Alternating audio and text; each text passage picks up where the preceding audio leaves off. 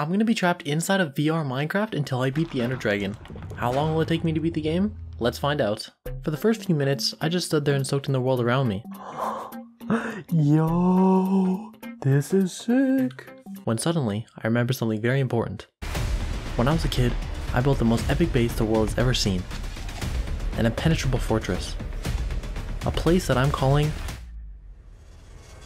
The crab. Which stands for cool, really awesome base. Before I could get started on building, I needed to find the perfect location. After some searching, I had found the perfect place to build. A flat bit of land with desert on either side, and a body of water not too far off. Now it was time for me to build the world's most epic base in a quick building montage. But I just finished my house and I haven't fully looked at it yet. We're gonna see it all together on the count of three. One, two, three. Finally, my masterpiece, the crab.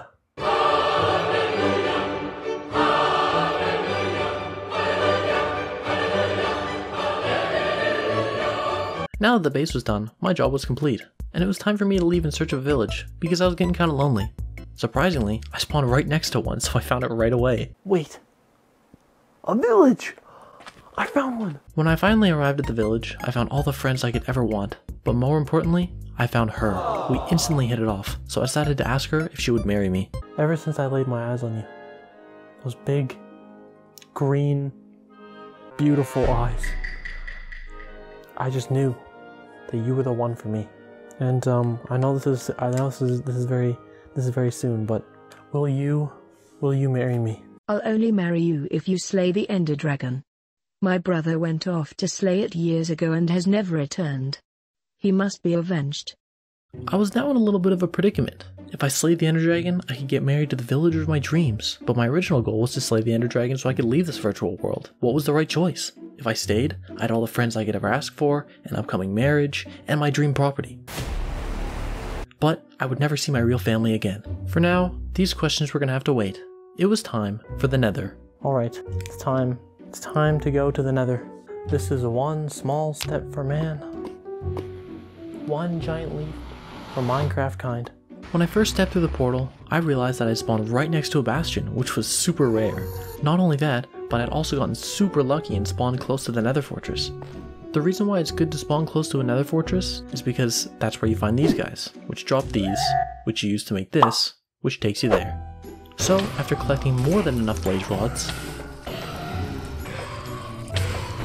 it was time for me to go home. When I got back to the village, I decided that it was time to get my soon-to-be wife a name tag, so she could finally have an official name. If you didn't already know, name tags are items that can be used to give villagers names. But the problem is, they're extremely rare and can only be obtained in two different ways. The first way to obtain a name tag is by finding one in a chest in a structure, like a mineshaft, woodland mansion, or dungeon. The second is by fishing. The problem is, you only have a 0.8% chance to get a name tag from fishing. That means, on average, it would take me around 125 attempts to get. Wanting to avoid potentially spending hours on fishing, I decided to check the mineshaft that was super close to the village, praying to find a name tag inside. Please have a name tag. there is there's a there's a golden apple and a name tag. Thankfully, luck was on my side, and in the one chest I could find in the entire mineshaft, I found a name tag. And now that I had this priceless artifact, I could finally give my soon to be wife an official name. The only problem was, I hadn't exactly thought of a name for her. And then, it dawned on me. What is the fairest, most beautiful name that a princess, no, a queen like her would suit? With this priceless name tag in hand, I could finally bestow my future wife with her beautifully fitting name. After giving my soon to be wife her name, it was time to head off to face my biggest and final challenge yet the Ender Dragon. In order to fight the Ender Dragon, you need to go to the end. And in order to go to the end, you need to find the stronghold, which you can locate by throwing Eyes of Ender, like this. Eventually, I'd managed to find the stronghold, so I set my spawn beside the portal, placing the eyes, prepared for the most epic battle of my life. Okay, I think I'm ready for the final final final fight. This is it. This is for all the marbles.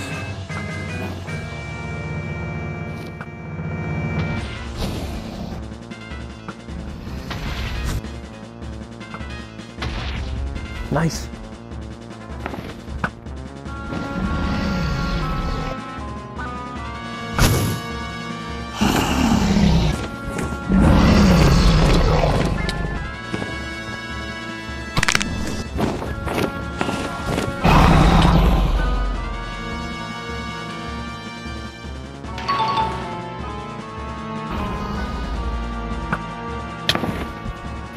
Let's go!